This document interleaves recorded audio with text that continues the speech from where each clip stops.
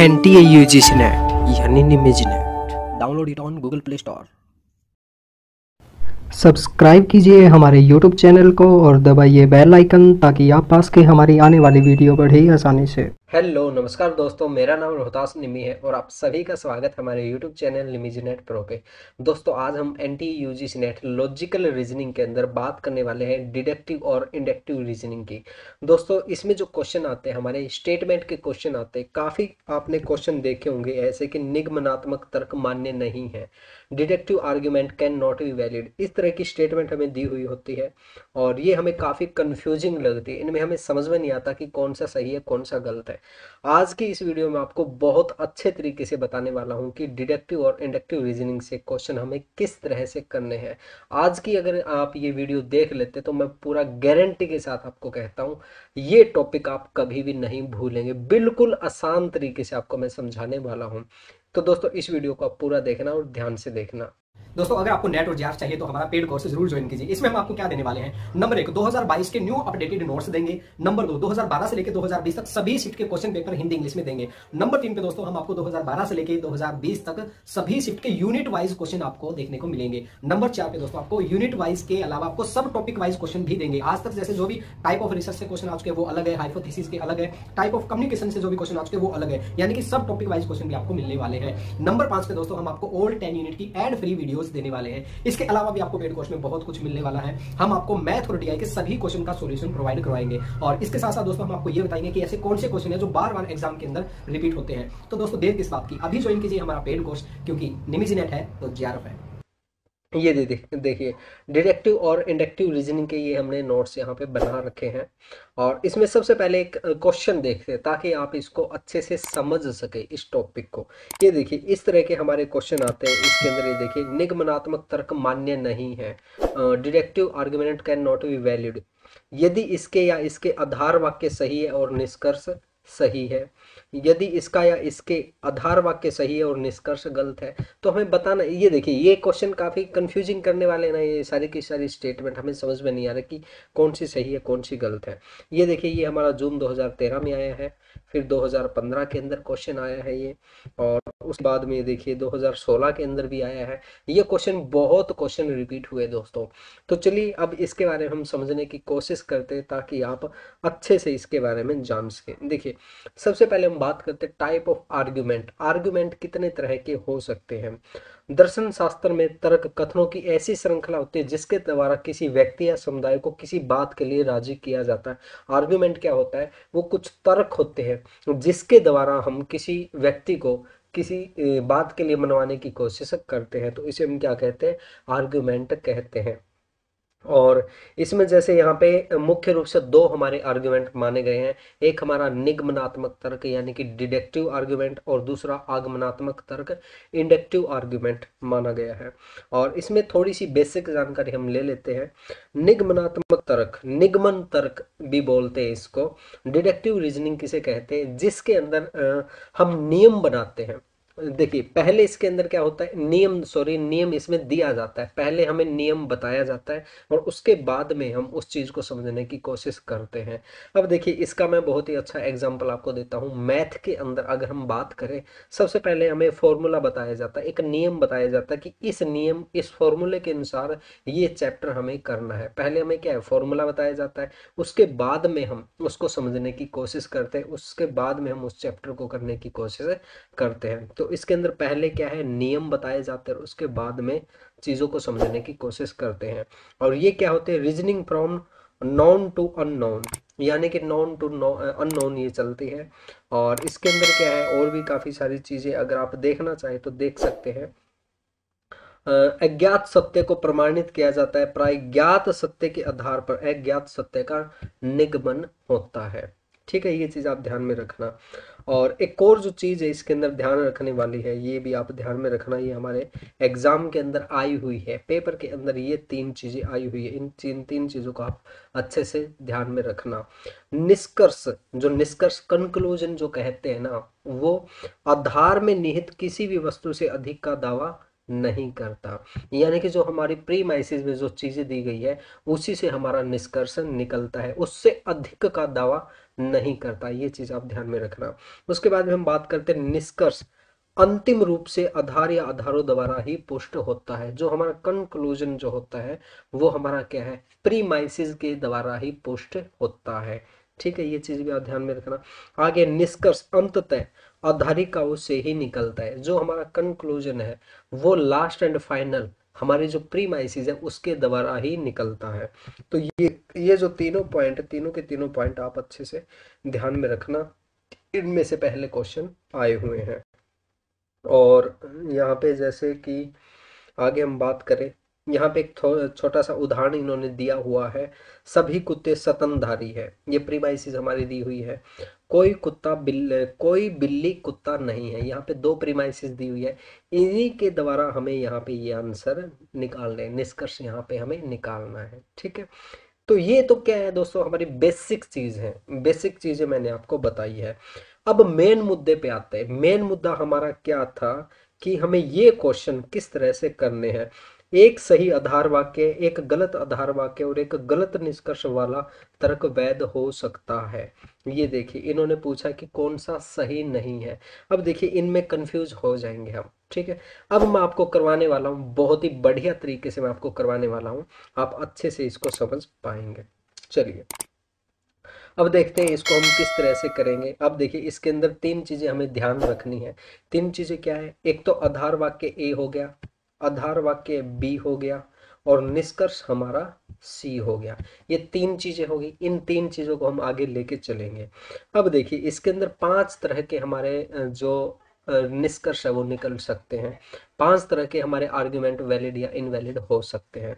देखिए, इसके अंदर क्या है? नंबर एक पे हम क्या लेके चलते हैं कि एक सही आधार वाक्य, रुकिए, इसको थोड़ा सही कर लेते हैं स्क्रीन को नीचे कर लेते हैं। हाँ जी, ये देखिए एक सही आधार वाक्य, एक गलत आधार वाक्य और एक गलत निष्कर्ष वाला तर्क क्या होगा? वैध हो सकता है। अब देखिए, इसको हम करने की कोशिश करते हैं। ये व्यक्ति है, ये व्यक्ति कह रहा है, ये एक राइट स्टेटमेंट दे रहा है। इसके अंदर क्या ये व्यक्ति कह रहा है, आज कोरोना के दस हज़ार मामले आए हैं। इसकी बात को हमने क्या है? सही पाया। इसने कहा कि आज जो कोरोना के मामले दस हज़ार आए हैं तो ये इसकी बात क्या है? बिल्कुल सही है, हमने वेरीफाई किया ऑफ़िस में जाके देखा ऑफिशियल डेटा वेबसाइट वगैरह पे जाके चेक किया तो इसकी बात हमें बिल्कुल सही लगी, ठीक है?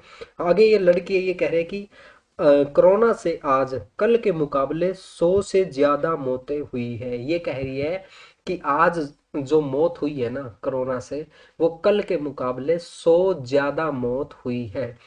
लेकिन हमने देखा कि ये जो लड़की कह रही है ना, ये बात गलत कह रही है, ठीक है? तो ये गलत कह रही है। हमने ऑफिशियल डेटा देखा, वहाँ पे हमें पता चला कि ये बात गलत कह रही है। इस, इसकी बात सही नहीं है।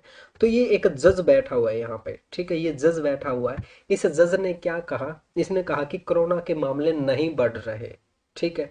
ये कह रहा है कि आज मौत नहीं हुई है और इन्होंने जो कंक्लूजन है ना, वो ये निकाला कि कोरोना के मामले जो है वो बढ़ नहीं रहे हैं। तो इन्होंने क्या है? रोंग निष्कर्ष निकाला, गलत निष्कर्ष निकाला, यानी कि इन्होंने कहा भाई, कोई कोरोना वरोना के मामले नहीं बढ़ रहे हैं और सब नॉर्मल है, ठीक है?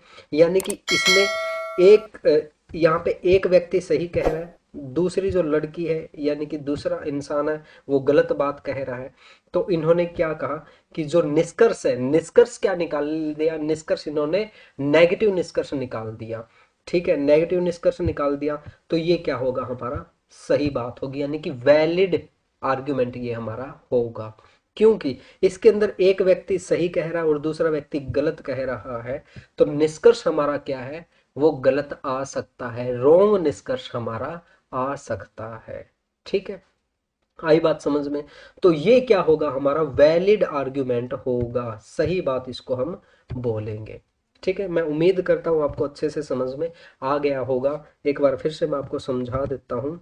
जहाँ पे एक आधार वाक्य सही हो, दूसरा आधार वाक्य गलत हो और निष्कर्ष हमारा गलत निकले, ठीक है? तो भी हमारा क्या है? आर्ग्यूमेंट वैलिड माना जाएगा। ठीक है, यानी कि हम, हमने इसकी बात को सही मान लिया और इसी के ज़रिए हमने निष्कर्ष जो है वो निकाला रॉन्ग और उस वजह से हमारा आर्गुमेंट क्या होगा? वैलिड माना जाएगा। ठीक है? और आगे हम देखते हैं, आगे किस तरह का एक और है हमारा आर्गुमेंट इसके अंदर क्या है? एक सही आधार वाक्य और एक गलत आधार वाक्य, एक सही निष्कर्ष वाला तर्क वैध हो सकता है। ठीक है? अब देखिए, इसके अंदर क्या है? एक एक आधार वाक्य राइट एक ये सही आधार वाक्य मान लिया हमने। दूसरा ये गलत, ये चीज़ हम ऊपर भी करके आए हैं। कि इस व्यक्ति को हमने सही माना, इसको हमने गलत माना, लेकिन निष्कर्ष हमने क्या निकाला? भाई, कोरोना के मामले बढ़ रहे हैं। अब की बार हमने क्या है? पॉजिटिव निष्कर्ष निकाल दिया। ठीक है, जो कंक्लूजन है, वो हमने पॉजिटिव निकाल दिया। भाई हाँ कोरोना के जो मामले हैं, वो बढ़ रहे हैं। तो भी हमारा क्या है? आर्ग्यूमेंट वैलिड माना जाएगा। क्योंकि यहाँ पे हमने इस व्यक्ति की बात को सही मान लिया और इसी से हमने जो निष्कर्ष है, वो पॉजिटिव निकाल लिया। ठीक है तो ये क्या होगा? सही आर्ग्यूमेंट हमारा होगा वैलिड आर्ग्यूमेंट हमारा यहाँ पे होगा। ठीक है, उम्मीद करता हूँ आपको अच्छे से समझ में आ रहा होगा।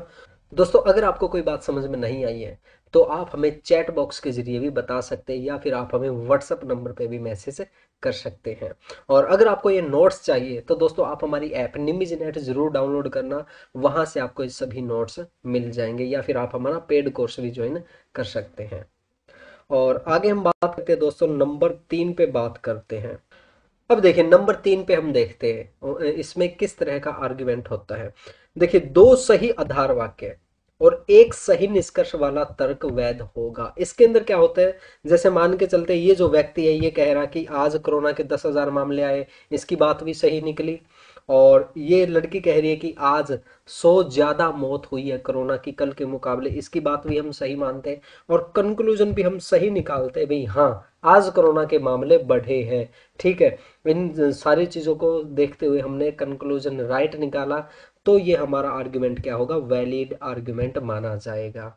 ठीक है, और इन दोनों में से कोई भी एक व्यक्ति अगर सही कहता है या गलत कहता है तो भी हमारा आर्ग्यूमेंट सही माना जाएगा। ये देखिए, ऊपर वाले जो हमारे आर्ग्यूमेंट है, ये देखिए, इसके अंदर एक व्यक्ति हमारा गलत कह रहा है, ठीक है? यहाँ पे एक व्यक्ति क्या ये जो लड़की ये गलत कह रही है तो भी हमारा जो आर्ग्यूमेंट है वो वैलिड होगा, क्योंकि एक व्यक्ति इसके अंदर सही कह रहा है। इसी तरीके से नंबर दो में भी यही बात थी कि अगर हमारा आधार वाक्य एक सही है, दूसरा गलत और निष्कर्ष हमारा सही निकलता है तो भी हमारा आर्ग्यूमेंट वैलिड माना जाएगा। ठीक है? आगे हम नंबर चार पे बात करते हैं कि दो गलत आधार वाक्य और एक गलत निष्कर्ष वाला तर्क भी क्या होगा? वैध होगा। अब मान के चलते हैं कि यहाँ पे इसकी बात भी रोंग निकल गई। ये जो व्यक्ति कह रहा था कि दस हज़ार मामले हैं, ये भी गलत निकल गई। और कोरोना के आज दस हज़ार सौ ज़्यादा मौतें हुई है, ये लड़की वाली बात भी गलत निकल गई। ठीक है तो इन दोनों के निष्कर्ष से हमने निष्कर्ष निकाला कि आज कोरोना के मामले नहीं बढ़ रहे, या फिर ये निष्कर्ष भी हमारा गलत निकलता है तो भी ये हमारा वैलिड आर्ग्यूमेंट होगा। यानी कि तीनों के तीनों गलत होने पे भी हमारे, हमारा जो आर्ग्यूमेंट है वो वैलिड होगा। ठीक है? तो इस तरह से आप इसको समझ सकते हैं। आगे हम एक और एग्ज़ाम्पल लेके चलते हैं। यहाँ पे नंबर पाँच पे हमारा आर्ग्यूमेंट जो आता है, इसके अंदर क्या होता है? दो सही आधार वाक्य और एक गलत निष्कर्ष वाला तर्क अवैध होगा। ठीक है? ये मोस्ट इंपॉर्टेंट चीज़ ध्यान में रखना, ये एग्ज़ाम के अंदर पूछी जाती है। ये पूछा जाता है कि निम्नलिखित में से कौन सा वैलिड नहीं है, ये पूछा जाएगा। देखिए, ये व्यक्ति भी सही कह रहा है, ठीक है? ये लड़की भी सही कह रही है, लेकिन ये जज है, ये कहे कि जो कोरोना के मामले वो नहीं बढ़ रहे, ठीक है? इस व्यक्ति की बात भी हमने सही पाई, हमने वेरीफाई किया, और ये लड़की की बात भी हमने वेरीफाई की। हाँ भाई, और रियल में सोम होते हुई है और रियल में हमारे दस हज़ार मामले बढ़े हैं, लेकिन ये जज कहे कि आज कोरोना के मामले नहीं बढ़ रहे जज इन दोनों की बातों को गलत कह रहा है कि ये दोनों के दोनों गलत है। तो हमारा क्या है? जो आर्ग्यूमेंट है इनवैलिड आर्ग्यूमेंट माना जाएगा। आगे बात समझ में? यानी कि जहाँ पे दोनों के दोनों व्यक्ति सही हो और जज ये कहे कि नहीं, ये तो गलत है तो वहाँ पे क्या होगा हमारा? इनवैलिड आर्ग्यूमेंट होगा। ठीक है? आगे हम बात करते हैं। अब देखिए, इसमें एक क्वेश्चन करने की कोशिश करते हैं। इससे आपको अच्छे से समझ में आ जाएगा। एक निगमनात्मक तर्क मान्य नहीं हो सकता। क्या कहा है इन्होंने? इनवैलिड कौन सा है? ठीक है, जो वैलिड नहीं हो सकता। इसमें देखिए, इन्होंने क्या कहा है? ऑप्शन नंबर बी इन्होंने दिया है। या इसका या इसके आधार वाक्य सही है और निष्कर्ष हमारा गलत है। ठीक है, यानी कि ए वाला व्यक्ति है, वो भी सही बात कह रहा है। ठीक है, वी वाला व्यक्ति भी सही कह रहा है, लेकिन जो हमारा जज है, वो ये कहे कि ये ये भी सही मान लिया हमने, ये भी सही है, लेकिन जज ये कहे कि ये दोनों के दोनों गलत है तो ये हमारा क्या होगा? इनवैलिड आर्ग्यूमेंट होगा। ठीक है, ये अभी तो ऊपर के आए हैं, ये देखिए यहाँ पे। ये दोनों के दोनों सही है, ये दोनों के दोनों सही है, लेकिन जज कहे कि नहीं, ये दोनों के दोनों गलत है तो हमारा क्या होगा? आर्ग्यूमेंट इनवैलिड आर्ग्यूमेंट माना जाएगा। और आगे हम बात करते हैं, जैसे इसमें भी देख सकते हैं, एक निगमनात्मक तर्क अप्रमाणिक है यदि, ये देखिए क्वेश्चन है, इसके सभी आधार वाक्य सही हो परंतु निष्कर्ष गलत हो। ये भी वही है, अभी हम करके आए हैं ऊपर। ठीक है। तो इस तरह के क्वेश्चन है दोस्तों, आप ये करके देखना, बिल्कुल आसानी से आप इनको कर सकते हैं। और अगर आप इनमें और, जैसे और ऑप्शन की हम बात करें, जैसे यही लगा के चले क्वेश्चन नंबर 28 की बात करें इसके अंदर जैसे ऑप्शन नंबर फोर को हम छोड़ देते हैं। सभी आधार वाक्य सही हो, परंतु तो इसका निष्कर्ष गलत हो। तो ये चीज़ क्या है? ये तो इसकी रोंग होगी, ठीक है? और ऑप्शन हम देखते हैं। इसके आधार वाक्य और निष्कर्ष सभी सही हो तो क्या ये तो वैलिड होगा ठीक है, यानी कि आधार वाक्य भी सही है और निष्कर्ष भी हमारा सही है तो ये क्या हमारा वैलिड आर्ग्यूमेंट होगा? आगे हम बात करते हैं, इसके आधार वाक्य और निष्कर्ष सभी गलत हो, यानी कि सारी की सारी चीज़ें गलत है तो भी हमारा ये आर्ग्यूमेंट वैलिड होगा। आगे हम बात करते हैं नंबर तीन पे, इसके सभी आधार वाक्य गलत हो, परंतु निष्कर्ष सही हो, ठीक है? यानी कि आधार वाक्य ए भी गलत है, आधार वाक्य बी भी गलत है, और जो जज है, हमारा वो कहे भाई हाँ ये दोनों के दोनों झूठ बोल रहे हैं और वो पॉजिटिव रिज़ल्ट निकाले तो भी हमारा आर्ग्यूमेंट क्या है, वो वैलिड होगा। ठीक है? तो उम्मीद करता हूँ आपको समझ में आ गया होगा। आप इससे रिलेटेड जो भी क्वेश्चन है, वो करके देखना, अच्छे से आपको इस समझ में आ जाएगा। और आगे हम बात करते हैं दोस्तों, आगे हमारा इंडक्टिव आर्ग्यूमेंट है। इंडक्टिव आर्ग्यूमेंट का एक बहुत ही अच्छा सिंपल भाषा में मैं बताता हूँ। इंडक्टिव आर्ग्यूमेंट के अंदर क्या होता है? पहले उदाहरण बताया जाता है और उसके बाद में कोई नियम बनाया जाता है। और इसमें देखिए, एक एग्जांपल देता हूँ आपको। जैसे हम छोटे बच्चे होते थे, उस टाइम हमें कैसे काउंटिंग सिखाई जाती थी और कैसे मल्टीप्लीकेशन और माइनस करना, प्लस करना, किस तरह से सिखाया जाता था? हमें ऐसे एग्ज़ाम्पल दिए जाते थे कि आपके पास चार रोटियाँ हैं, एक बकरी आई, उसने दो रोटी खा ली तो आपके पास कितनी रोटी बच गई? तो हम कहते थे कि दो रोटी बच गई। यानी कि वहाँ पे हमें जो चीज़ हम जानते हैं उन्हीं के द्वारा हमें सिखाने की कोशिश की जाती थी। उदाहरण वहाँ पे दिए जाते थे और वो फिर ऐसे कहते थे कि आपके पास मान के चलिए तीन टॉफ़ी है और हमने दो टॉफ़ी और दे दी। बताइए अब आपके पास कितनी टॉफ़ी हो गई? हम कहते थे पाँच टॉफ़ी होगी। तो हम उदाहरण में मज़ाक मज़ाक में ही मज़े मज़े में चीज़ें सीख लेते थे। तो वहाँ पे क्या होता था? हमारा आग, आगमन विधि होती थी इंडक्टिव आर्ग्यूमेंट वहाँ पे होता था। वहाँ पे क्या होता है, इसके अंदर इसके अंदर हम विशेष तत्वों के आधार पर सामान्य सिद्धांत बनाए जाते हैं। इसके अंदर सबसे पहले एग्ज़ाम्पल दिए जाते हैं, उसके बाद में हम नियम बनाते हैं। और इसमें क्या है we go from specific to general इसके अंदर हम स्पेसिफिक टू जर्नल चलते हैं, ये चीज़ आप ध्यान में रखना। और इसके अंदर अगर आप डिफरेंस देखना चाहे तो यहाँ पे आप देख सकते हैं, वैसे डिफरेंस तो इनमें नहीं पूछा गया आज तक, फिर भी हम देखना चाहे तो यहाँ पे देख सकते हैं, निगमन पद्धति सिद्धांत केंद्रित है। ये क्या है? सिद्धांत के ऊपर डिपेंड होते हैं। हमने बताया था निगमन मतलब नियम। निगमन नियम। निगमन के अंदर क्या है? पहले नियम बताया जाता है। और उसके बाद में हम उसको समझने की कोशिश करते हैं। लेकिन आगमन के अंदर क्या है? आगमन के अंदर उदाहरण बताया जाता है। ठीक है तो ये दोनों के दोनों वर्ड सिमिलर है ना? निगमन से नियम और आगमन से उदाहरण। तो इस तरह से आप इसको आसानी से समझ सकते हैं। आगमन पद्धति वास्तु केंद्रित है और निगमन पद्धति में सामान्य सिद्धांत से विशेष तथ्य की ओर जा, जाया जाता है। और इसके अंदर क्या है? कि इस पद्धति में विशेष वस्तुओं के गुणों के आधार पर सामान्य सिद्धांत बनाए जाते हैं, ठीक है? निगमन पद्धति में कुछ अनुमान से काम लिया जाता है, आगमन पद्धति में केवल तथ्यों को आधार बनाया जाता है। ये देखिए, वैसे इसमें बहुत ज़्यादा डिटेल से करने की ज़रूरत नहीं है और इसमें डिफरेंस अभी तक इन्होंने नहीं पूछा हुआ है। आगे हम बात करते हैं, आगे हमारे मोस्ट इम्पोर्टेंट जो टर्म्स है, वो हम कर लेते हैं डिडक्टिव और इंडक्टिव रीजनिंग के अंदर। ये देखिए हिस्ट्री को हम समझने की कोशिश करते हैं। ये मोस्ट इम्पोर्टेंट है मैं आपको बार बार कह रहा हूँ क्योंकि इसमें से क्वेश्चन आ चुके हैं हमारे। मैं आपको दिखाऊँगा आगे किस तरह से इनमें से क्वेश्चन आए आगे की जो वीडियो होगी उसके अंदर। ये देखिए ये एक ट्री है ट्री को हम समझने की कोशिश करते हैं। जो डिडक्टिव आर्ग्यूमेंट होता है निगमन विधि जो होती है, उसके अंदर क्या होता है? ये हमारी या तो वैलिड होगी या फिर हमारी इनवैलिड होगी। हमने बात की थी ना ऊपर, या तो ये वैलिड होगा या फिर इनवैलिड होगा, ये जो हमारे आधार वाक्य है, उसी के ऊपर डिपेंड करता है। ठीक है? तो ये क्या है? ये या तो वैलिड होगा या फिर इनवैलिड होगा, दो चीज़ों में से एक चीज़ होगी। लेकिन जो हमारी इंडक्टिव है ये हमारी आगमन विधि है। ये क्या है? स्ट्रोंग भी हो सकती है वीक भी हो सकती है। इसका मतलब ये स्ट्रोंग का मतलब ये है कि कोई व्यक्ति किसी बात के बारे में सही, यानी कि ज़्यादा पॉसिबिलिटी दे रहा है। जैसे हम मान के चले, भाई ये आदमी है ना, ये आदमी चोर हो सकता है, क्योंकि मैंने इसको वहाँ पे ना एक बार झूठ बोलते हुए देखा था और ये वहाँ पे एक बार पकड़ा भी गया था, चोरी करते हुए पकड़ा गया है। और यहाँ पे आज जो चोरी हुई है ना इसके अंदर इसका हाथ हो सकता है, क्योंकि कल ये चोरी का सामान लेके आ रहा था, कटर लेके आ रहा था काटने के लिए, सटर काटने वाली कटर लेके आ रहा था। तो यहाँ पे क्या कि जो हमारे अनुमान होते हैं, वो स्ट्रोंग भी हो सकते हैं और वीक भी हो सकते हैं। इसके अंदर हम फाइनली ये नहीं कह सकते कि ये सही है या गलत है। इसके अंदर हम या तो जो हमारा आर्ग्यूमेंट होगा वो स्ट्रोंग होगा या फिर वो वीक होगा। इस तरह से होता है हमारा इंडक्टिव रीजनिंग के अंदर, आगमन विधि के अंदर।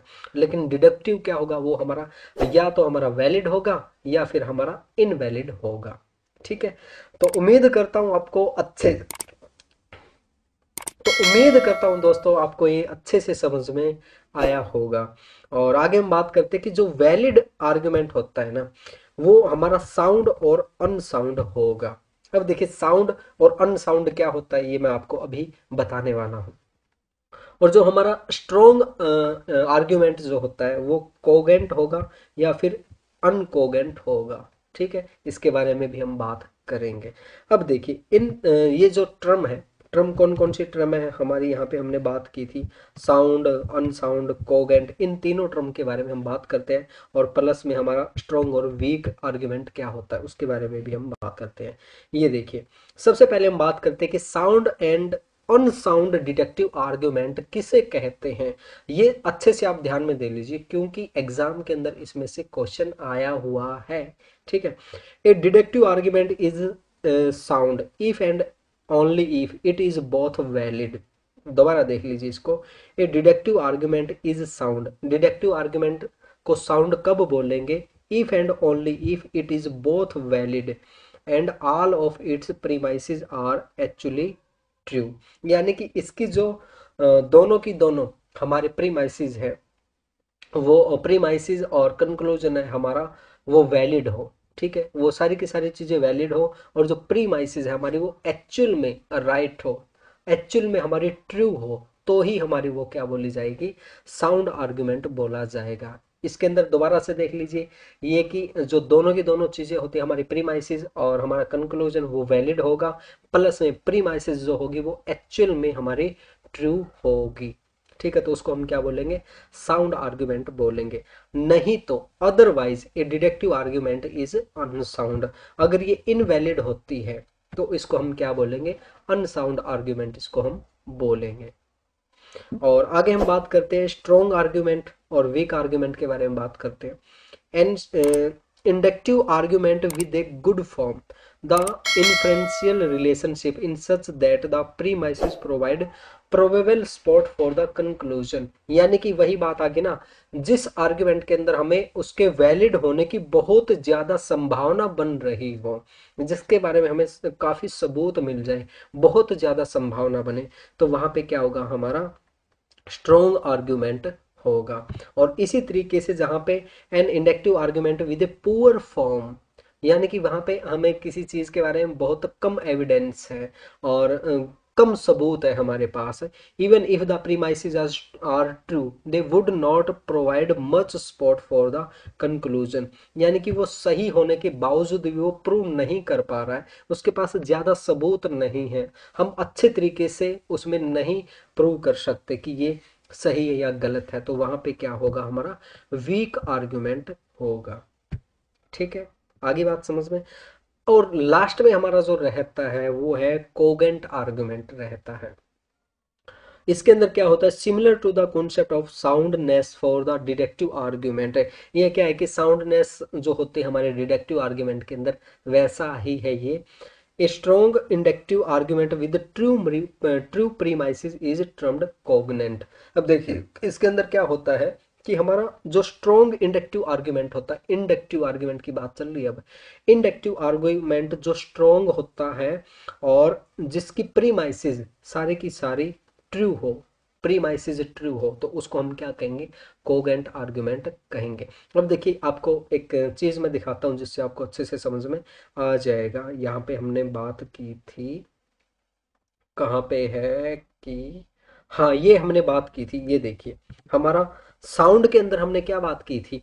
A deductive argument is sound if and only if it is both valid and all all of its premises are actually true ठीक है? डिडक्टिव आर्ग्यूमेंट के अंदर अगर हमारी प्रीमाइसिस ट्रू होती है तो उसे हम क्या कहेंगे? साउंड कहेंगे। ठीक है?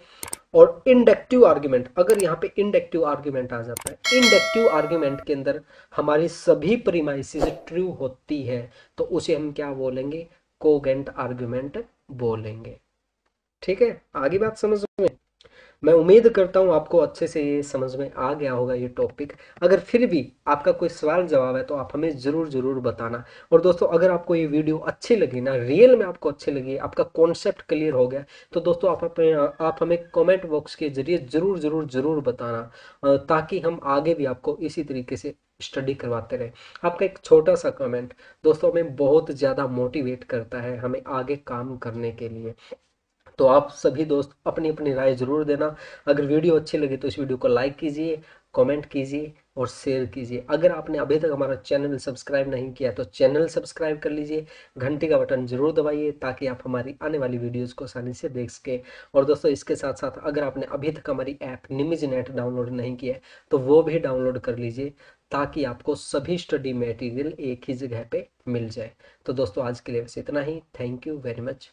Bye bye दोस्तों, अगर आपको नेट और जीआर चाहिए तो हमारा पेड कोर्स ज़रूर ज्वाइन कीजिए। इसमें हम आपको क्या देने वाले हैं? नंबर एक 2022 के न्यू अपडेटेड नोट्स देंगे। नंबर दो 2012 से लेकर 2020 तक सभी शिफ्ट के क्वेश्चन पेपर हिंदी इंग्लिश में देंगे। नंबर तीन पे दोस्तों, हम आपको 2012 से लेकर 2020 तक सभी शिफ्ट के यूनिट वाइज क्वेश्चन आपको देखने को मिलेंगे। नंबर चार पे दोस्तों, आपको यूनिट वाइज के अलावा आपको सब टॉपिक वाइज क्वेश्चन भी देंगे। आज तक जैसे जो भी टाइप ऑफ़ रिसर्च से क्वेश्चन आ चुके वो अलग है। हाइपोथेसिस के अलग है। टाइप ऑफ़ कम्युनिकेशन से जो भी क्वेश्चन आ चुके वो अलग है। यानी कि सब टॉपिक वाइज क्वेश्चन भी आपको मिलने वाले हैं। नंबर पाँच पे दोस्तों, हम आपको ओल्ड टेन यूनिट की एड फ्री वीडियो देने वाले हैं। इसके अलावा भी आपको पेड कोर्स में बहुत कुछ मिलने वाला है। हम आपको मैथ और डीआई के सभी क्वेश्चन का सोल्यूशन प्रोवाइड करवाएँगे। और इसके साथ साथ दोस्तों, हम आपको ये बताएँगे कि ऐसे कौन से क्वेश्चन है जो बार बार एग्ज़ाम के अंदर रिपीट होते हैं। तो दोस्तों, देर किस बात की? अभी ज्वाइन कीजिए हमारा पेड कोर्स क्योंकि निमिजी नेट है तो जीआरएफ है।